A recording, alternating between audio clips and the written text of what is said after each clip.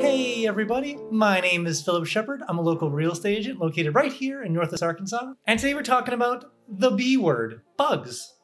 What kind of bugs, you know, what kind of, what can you expect living in Northwest Arkansas about the bugs? So let's talk about that. But before we begin, if you could like this video and also subscribe, that would make the world a difference. I try to produce as much content literally as humanly possible about Northwest Arkansas. And so making sure you like that video and also subscribing to make sure that my content goes in front of the right people at the right time. Hey, that could be you. So thanks a lot, guys. I appreciate it. So let's talk about the B word, the bugs word. So oftentimes I hear a lot of people talk about how many bugs are in Arkansas. And so I'm not too familiar with how many bugs are in like central Arkansas or southern Arkansas or eastern Arkansas, but I can tell you what's here in northwest Arkansas. And so let's talk about the first one is mosquitoes. So to clarify, I come from Chicagoland. I come from like Northern Illinois. I've been in Wisconsin a lot. I've been in all those areas. And so I have a different comparison to where you might be coming from when it comes to mosquitoes. If anyone's been into the boundary waters, if anyone's been into Wisconsin, if anyone's been into Illinois during like the prime time summer season, there's a good chance that you're gonna sit outside and get eaten alive. That's why there's a lot of people that invest a lot of money into like spraying their their their land and getting all the candles out and trying whatever sort of like weird fantastical things that could like get away bugs or get away mosquitoes specifically they try those things in wisconsin and illinois.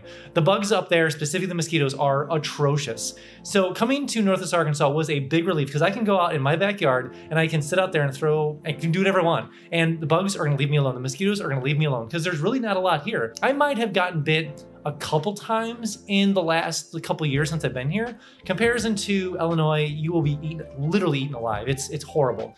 Now, obviously, I think this is just subjective thought process. I think part of the reason why Illinois and Wisconsin are so uh, heavy in mosquitoes is the fact that they're a very big agriculture state. So they have a lot of corn, soybean, a lot of just wet fields. They have the Great Lakes next door to them. They have a lot of just dense forest. Um, Arkansas has those as well, but it's just different. There's not like sitting water everywhere around um, Arkansas, Northwest Arkansas specifically. It's a little bit more drier, tempered ground compared to Illinois, which is like obviously very wet all the time. There's a lot of ag. So you, you get the idea. There's a lot more places in Illinois for mosquitoes and other unwanted individual bugs to grow, obviously. And Arkansas just doesn't have those. The second thing is no-see-ums. Now, there are no-see-ums here in Northwest Arkansas, but I do want to talk about anyone coming from Florida or other parts along those like kind of like the, the Florida and the Panhandle. There are no no-see-ums here.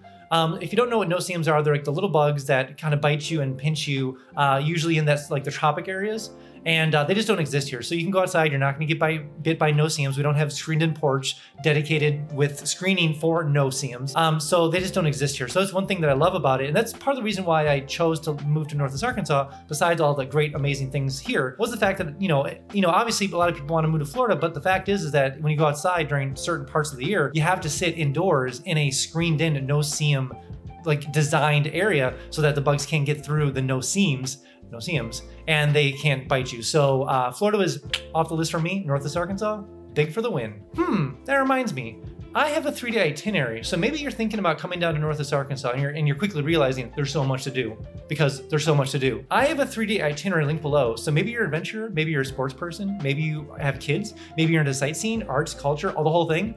There's a three-day itinerary link down below for you. And also when you do come down here, we can I can kind of give you the $10 tour, show you the whole area. Plus we can check out some homes for sale or for rent and see how far your dollar will go in Northwest Arkansas compared to where you're coming from. The third thing I want to talk about is just general gnats and everything other bug type. Now the thing is, is that coming from Illinois, coming from like the rich soil, very uh, like what's called rich. It's a very rich uh, when it comes to like um, soil up in Illinois and, and, Wisconsin. There's a lot of bugs up there. There's a lot of bugs. There are probably equally as many bugs in Northwest Arkansas, um, but there's just the bugs that bother you are drastically a lot less here. But besides that, there really are no differences when it comes to like bugs and say when it comes to Illinois and Arkansas. Maybe if you're coming from a very dry, temperate area that just doesn't have a lot of like wildlife or bugs in general, maybe that might be a big difference for you. But for me, coming from Illinois to here, not a difference at all. Not a difference when it comes to gnats and just bothersome bugs. All right, so let's talk about flies. So there are two differences with Arkansas and Illinois when it comes to flies. Now, the one thing with Illinois and Wisconsin is that they have a lot of black flies up there, horse flies, and oh my gosh, if you ever get bit by horsefly, um, that'll change your life. It is life altering because they are so annoying and they are so big and you can never hit them and they're so annoying and they are you're always on a tube somewhere in the middle of a lake and they come at you and you can't escape. Anyways, trauma. But yeah, horseflies are not they don't exist down here. At least I haven't gotten bitten by yet. So who knows? Maybe maybe I'm maybe I'm the one that has never got bitten by one. But there are really no horse flies down here. There are flies down here, obviously, like everywhere in the world, obviously. But there's no real bugs like horse flies or black flies or any sort of things like that. They're going to really bother you when you're outdoors doing stuff or anything like that. Now the one big difference between any sort of like northern state and also anywhere down here in Arkansas specifically, Northwest Arkansas specifically, are ticks. Ticks are way more populous down here in comparison to mosquitoes and other bugs like that. So my recommendation for ticks is the fact that if you are on trail in the summertime, spring, like basically spring and summer, um, you're gonna be completely fine. Once you go off trail, you get a little bit more dicey territory. You will probably get some ticks on you. So it's recommended that if you are hiking to wear pants or just flick the ticks off as they come along. Not my favorite bug type. Don't like them. Don't care for them. Uh, what bugs do I care for? But ticks are a thing down here. Definitely a bigger thing compared to northern states. It's one of the things you just have to be aware of. Um, again, if you are on trails, you will, I mean, on actually like on the paved, not paved trails, but if you are on the maintained trails, you're going to be relatively fine. It won't be a problem. But once you start actually venturing off into random forests, and without trails, you, you might want to you might want to rethink that a little bit when it comes to ticks. All right, so this is kind of recap of everything when it comes to bugs in Northwest Arkansas. So this is kind of a um, we'll call a Phillip a Phillip gauge of how many bugs are in Arkansas compared to Illinois.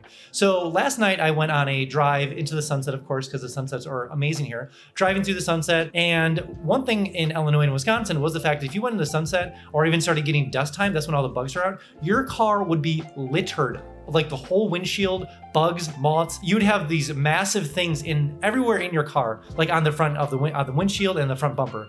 In Arkansas, it doesn't happen. So that's my that's my kind of like gauge when it comes to how many bugs actually exist here. If I would go out in Illinois, I'm gonna be it's gonna be littered. It's gonna be covered in bugs, covered. Um, in Arkansas, no, it's completely fine. If I go show you, show you my car right now, it's gonna be completely clean because there really isn't that many bugs here in comparison to the northern states. All right, that's all I have for you guys today. Really appreciate you guys watching. Again, if you are thinking about moving down to Northwest Arkansas, download my 3D itinerary link below. Maybe you're an adventurer, maybe you're a sports person, maybe you're into, you know, sightseeing, arts and arts and culture. There's a 3D itinerary link down below for you. Also, when you do come down here, I can give you the $10 tour, kind of show you around the area. And also, we can check out some homes for sale or for rent and see how far your dollar will go in Northwest Arkansas compared to where you're coming from. All right, guys, I'll see you in the next one.